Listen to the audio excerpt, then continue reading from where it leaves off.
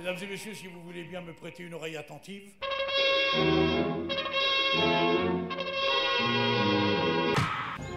Ouais, 3-4, là, qui c'est qui 3-4 Ce qui est particulier avec les siècles, c'est que quand on arrive à Berlioz, on est passé par Gluck, par Rameau, et de l'autre bout euh, de l'arche, eh bien aussi, on a expérimenté Debussy, Boulez ou Manoury. Dites-moi votre violon, euh, votre violon, il joue de la flûte? Les siècles à la maison, un podcast proposé par l'orchestre Les siècles. Ah, c'est bien, ouais, c'est bien ça. Nous vous invitons à une plongée dans la vie de notre orchestre, à une découverte de ses métiers et à une exploration des musiques que nous jouons et que nous aimons. Entrez avec nous dans l'intimité des œuvres et de leur interprétation. Alors là, chapeau.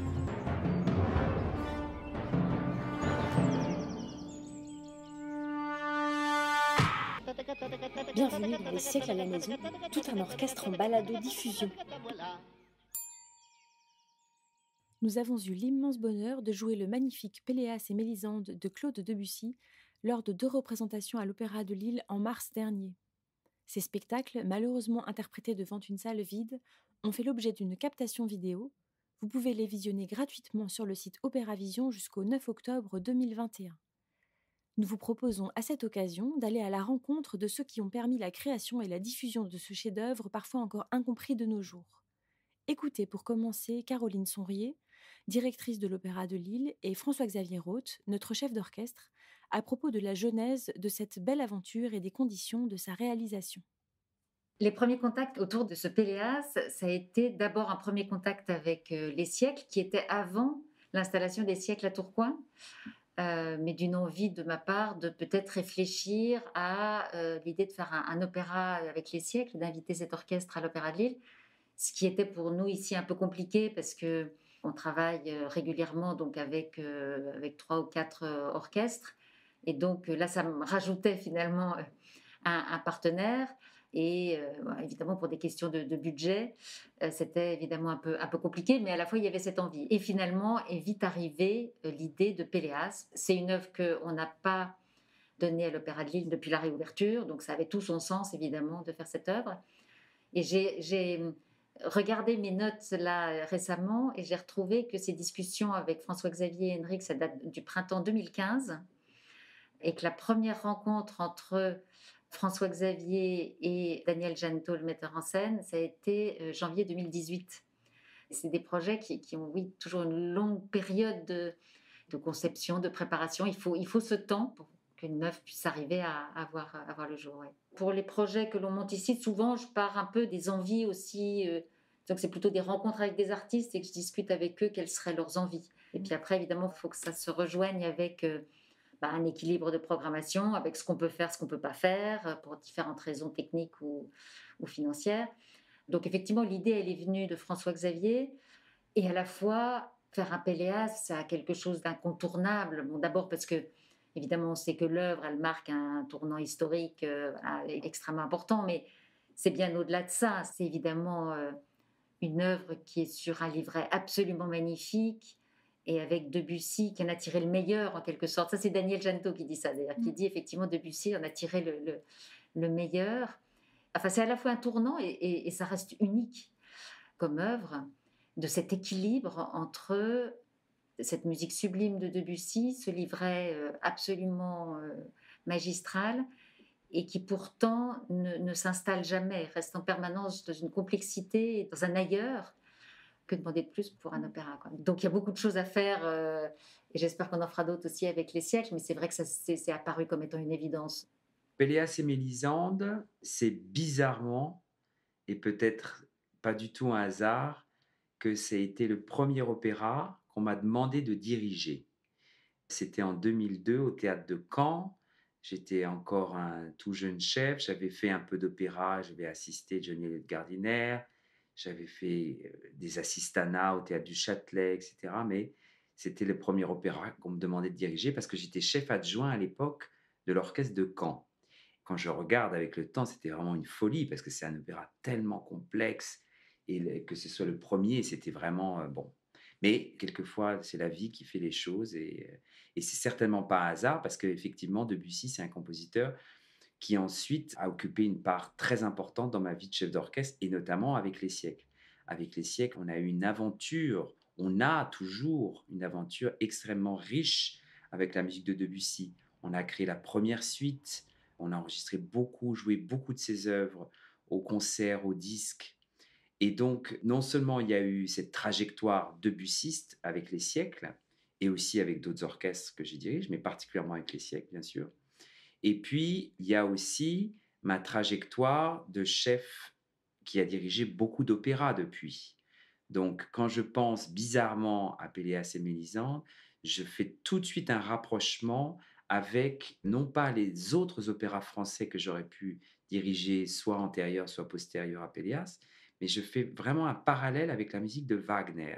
Et je crois que c'est pas du tout un hasard parce que Debussy était vraiment empreint de cette musique. Il était fasciné par tout ce, nouveau finalement modèle d'opéra avec le système de leitmotiv, de musique qui peuvent nous faire penser à un personnage, à un caractère, à une situation, une émotion.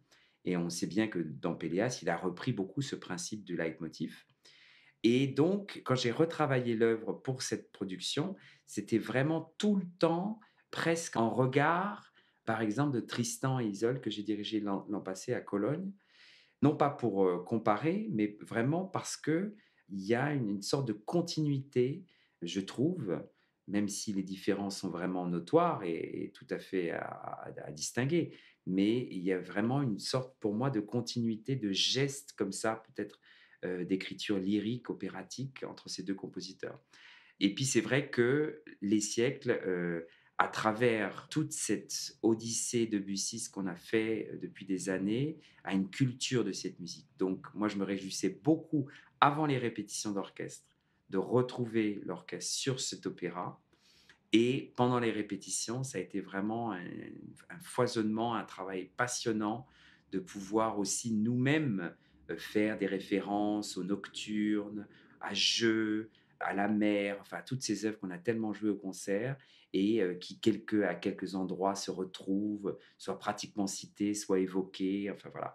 Donc c'est un grand honneur, grand bonheur de pouvoir faire avec mon orchestre Les siècles cet opéra qui est vraiment un chef-d'œuvre et je suis tout baigné de cette émotion et en même temps de ce challenge incroyable parce que c'est une musique qui est tellement complexe que je trouve aujourd'hui, 20 ans après, beaucoup plus difficile qu'en 2002 quand je dirigeais pour la première fois.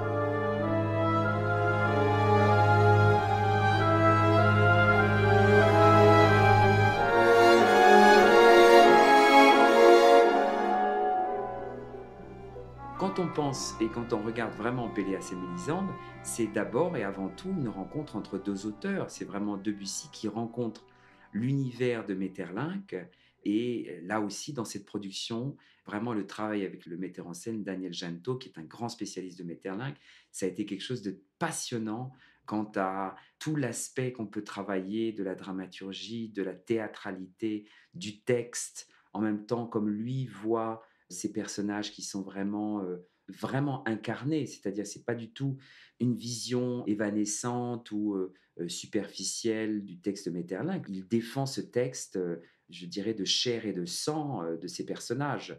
C'est vrai que Debussy, Metterlinck, ce texte, ce théâtre, cette poésie qui est apparue cucu pour euh, plein de gens à l'époque et qui peut nous paraître aussi d'une beauté absolument si évidente et quelquefois très naïve, c'est quelque chose qui euh, n'est pas nouveau. Hein. De toute manière, il y a toujours eu les gens qui étaient soit fanatiques de Péléas et Mélisande, soit complètement lointain et distant de cette musique ou de cet univers et de ce texte, de cette littérature. J'ai encore à l'esprit une interview de Karajan à France Musique il y a quelques années, je crois que c'était René Köring qui l'interviewait, Köring demandant à Karajan euh, qu'est-ce qu'il pensait de Péléas? Et, et Karajan disant mais c'est une musique extraordinaire, c'était un opéra extraordinaire et le journaliste français de répondre ah ben faut que vous m'expliquiez parce que euh, il comprenait pas comme beaucoup de gens sont vraiment hermétiques à, cet ouvrage. Alors, c'est sûr que tout l'aspect du, symbole est quelque chose qui vraiment est purement théâtral, mais qui se transcrit en musique. Et c'est ça le bénéfice extraordinaire de la forme de l'opéra, c'est-à-dire qu'avec l'opéra, on peut donner une lecture, et c'est bien sûr ce que fait Debussy, une lecture d'une pièce de théâtre avec des dimensions qui sont vraiment extraordinairement plus riche que simplement le théâtre lui-même. Par exemple, quand Debussy met en place tous ces objets sonores qu'on appelle en musique des leitmotifs, qui nous font penser à des personnages ou à des situations, à des émotions, et que est dit ou chanté le texte, et que comme ça, en contrepoint, on entend toutes ces citations, toutes ces références. Par exemple, quand euh, Golo demande à, à Mélisande mais pourquoi tu ne vas pas bien? Pourquoi? Il de, est-ce que c'est si Est-ce que c'est ma mère? Que et elle dit non, c'est tout à fait autre chose et qu'à ce moment-là est joué dans une infinie douceur le thème de Péléas. Alors ça, bien sûr, dans une pièce de théâtre, on peut pas avoir ça. À l'opéra, le domaine des possibles est complètement développé de manière extraordinairement riche. Hein. Et donc, tous ces symboles, qui soient l'anneau, que ce soit l'eau, les cheveux, toutes ces situations, la nuit, toutes ces dimensions de, la terre, du souterrain, la grotte, toutes les profondeurs de la terre, etc. Bah, tout, ça, c'est déjà bien évidemment dans le texte de Metterlinck. Donc Debussy ne fait que, entre guillemets, apporter un soutien, apporter, je dirais, un décorum musical qui nous fait encore plus plonger dans cette œuvre. Alors bien sûr, par un biais, euh, un autre compositeur, et il y en a eu d'autres qui ont écrit des musiques de scènes euh, sur Péléas, comme Fauré, comme Sibelius, comme Schoenberg, ils ont donné à voir et à entendre d'autres versions, d'autres partis pris euh, musicaux de, cette pièce de théâtre. Mais avec Debussy, c'est vraiment, voilà, on est plongé dans une sorte de mise en abîme musicale extraordinaire de ce texte théâtral le fait de travailler avec Daniel sur, euh, sur cette œuvre-là, c'était un peu une évidence. J'en ai parlé à François Xavier, on lui a passé aussi euh, une captation du nain de Zemlinski pour qu'il puisse voir un peu le travail de Daniel, puisqu'il ne s'y connaissait pas. Donc effectivement, la production du nain qu'on a pu faire euh, à, l'opéra, qui était à peu près son premier opéra, il avait fait déjà un autre projet, mais plus modeste avant. Et ça avait été un très très grand souvenir, ce nain de Zemlinski. Et Daniel est un très fin connaisseur de Metterlinck. Il a en gros une histoire avec Metterlinck qui est ancienne. Il a fait Les Aveugles de Metterlinck, etc. Donc euh, c'était à la fois effectivement l'envie de refaire quelque chose avec Daniel euh, après cette très belle production euh, du nain de Zemlinski. Et puis effectivement le fait que lui-même adore cette œuvre et, est un parfait connaisseur de Metterlinck. Ça prenait tout son sens. Pour la distribution de Péléas, il y a un certain nombre de difficultés et de décisions à prendre. La première, ça concerne par exemple le rôle même de Péléas. certains fanatiques absolus de Péléas ne pourraient pas imaginer avoir un ténor qui incarnerait le rôle de Péléas, parce que pour eux, ça doit être un baryton, une sorte de baryton typiquement français.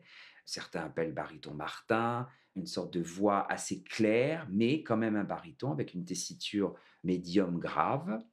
Et puis, moi, je dois dire que j'ai toujours été un peu déçu. Non pas, il y a des très grands Péléas, bien sûr, baryton, hein, euh, quand je pense à Stéphane Degout, quand je pense à François Leroux, à tous ces gens-là. Mais je trouve que moi, ce qui m'intéresse dans Péléas, c'est d'avoir une identification des deux frères, donc Péléas et Golo, qui soit vocalement assez marquée. Et donc, moi, j'ai envie de faire Péléas avec un ténor. Et surtout, j'avais envie de le faire avec Julien Bert, que je connais depuis longtemps. Et donc, non seulement ça ne me choque pas, mais c'est vraiment un désir et une décision, parce que j'ai envie de pouvoir faire entendre une jeunesse, d'une certaine manière, avec la voix de ténor en Péléas, et puis un frère plus âgé, avec une plus grande, euh, pas noirceur, mais euh, une voix plus sombre, pour la voix de Goulot. Donc ça, c'est un premier choix. Et puis ensuite, avec Ignol, on a Debussy qui tout de suite pense à un enfant pour incarner Ignol. Et moi, déjà la première fois quand je l'avais fait, c'était à Caen. Donc il y a une très bonne maîtrise à Caen. Et paf, 20 ans presque après, on refait Péléas. Et c'est aussi à la maîtrise de Caen qu'on a trouvé Adrien, euh, cet enfant qui euh, chante merveilleusement Ignol. Donc oui, c'est un rôle qui est fait pour un enfant. Déjà, scéniquement, ça marche bien sûr très bien, puisque quand il s'agit, si le metteur en scène veut respecter le fait que l'enfant va être sur les épaules de Golo, ben, si c'est une dame, euh, aussi légère soit-elle, c'est quand même plus compliqué. là, avec un enfant, ça marche de manière totalement évidente. Et puis, ça donne une fragilité, ça donne. C'est exactement ce que Debussy avait imaginé. Et c'est vraiment quand on trouve l'enfant, parce que bien sûr, c'est pas évident de trouver un enfant qui peut chanter euh, Ignol, eh bien, il faut le faire avec un enfant.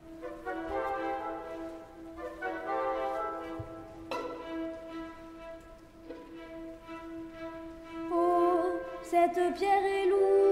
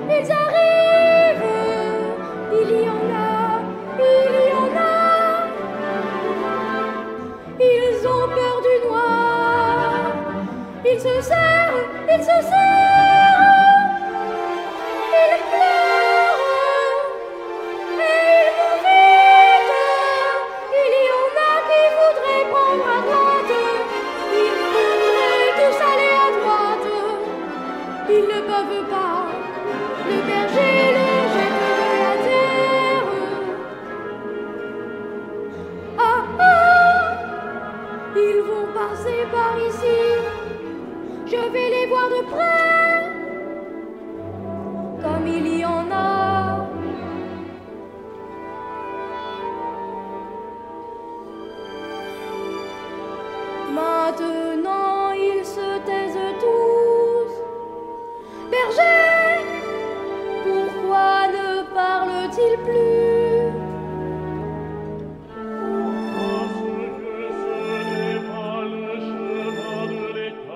Intéressant parce que je suis dans la position où évidemment je vois toute la genèse du projet avec justement ces discussions sur la scénographie, sur le projet de Daniel, les discussions avec François Xavier, etc. Donc tout ce qui est sur scène, je sais d'où ça vient en fait au départ. Mais après, comment ça se transpose sur scène, c'est toujours très intéressant de voir finalement est-ce que ça prend corps ou pas, est-ce que ce discours finalement c'était un, discours de départ, mais finalement bah, on n'arrive pas là en tout cas?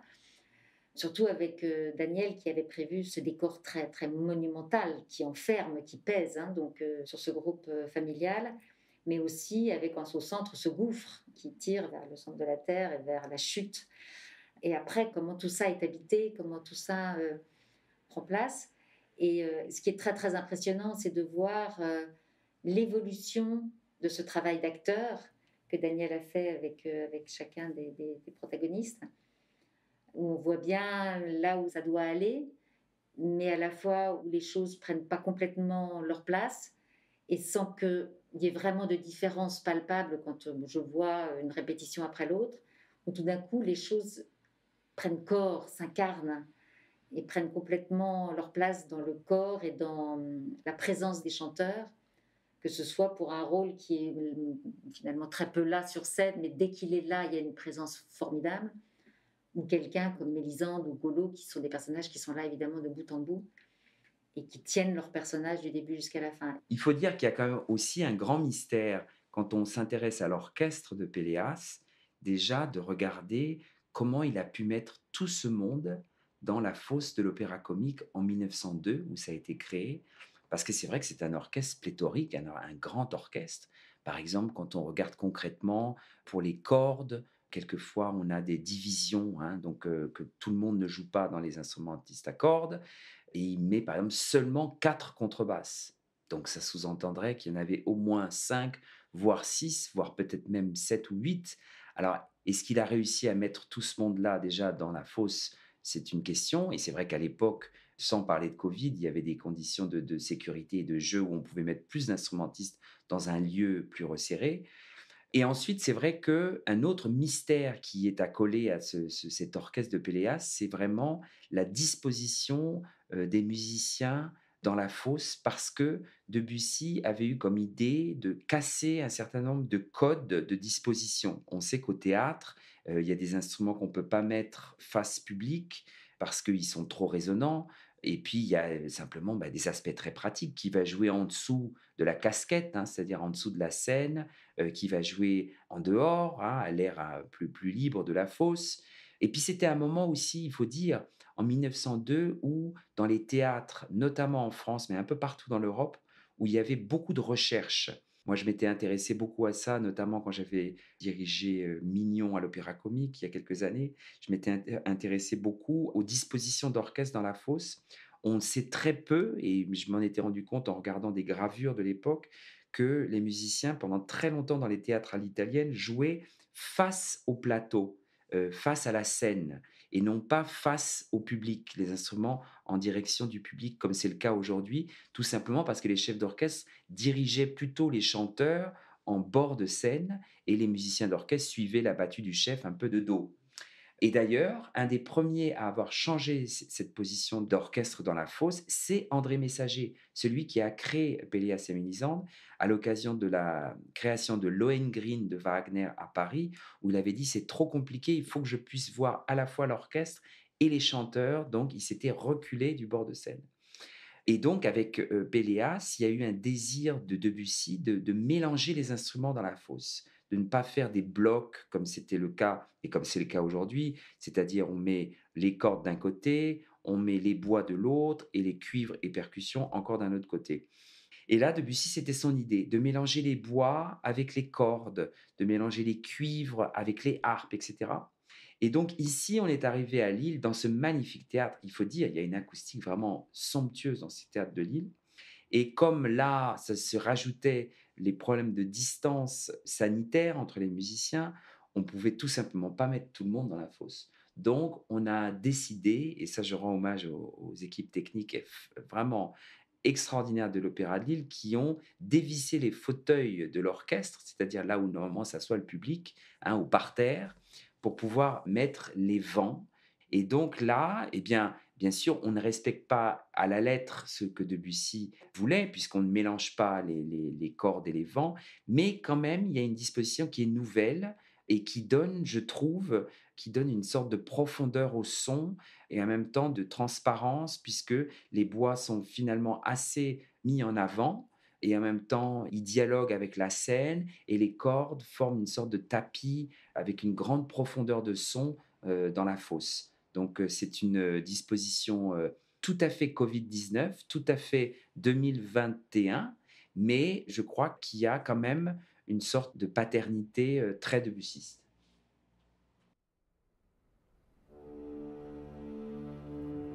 Merci à Caroline Sonrier et François-Xavier Roth pour leur participation. Le prochain chapitre sera consacré à la mise en scène de ce Péléas et Mélisande avec le grand Daniel Janotto. Conception et réalisation de ce premier chapitre, Anou Chalin, Lucie Pierron, Emmanuel Bénèche, François-Marie Simon Milon et Hélène Moulin.